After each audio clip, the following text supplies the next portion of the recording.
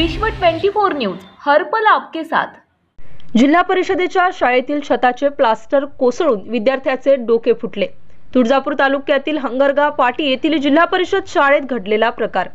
उस्मानाबाद जिल्ह्यातील हंगरगा पाटी येथील जिल्हा परिषदेच्या शाळेतील वर्गखोलीतील छताचे प्लास्टर कोसळून इयत्ता दुसरीत शिकणाऱ्या विद्यार्थ्याचं डोकं फुटल्याची घटना घडली आहे. छताचे प्लास्टर अचानक डोक्यात पडल्याने या विद्यार्थ्याच्या डोक्याला तब्बल सात टाके पडलेत. शुक्रवारी ही घटना घडली असून जेव्हा घटना घडली तेव्हा वर्गात अठरा विद्यार्थी होते. मात्र ते बाल बाल बचावले आहेत. मात्र घडलेल्या घटनेमुळे गावकरी मात्र चांगलेच संतप्त झालेले आहेत. विश्व ट्वेंटी फोर न्यूज करिता आमचे प्रतिनिधी Praveen Rathod. Vishwa twenty four news चॅनलला लाईक करा शेअर करा कमेंट करा आणि चॅनलला सबस्क्राईब करायला विसरू नका.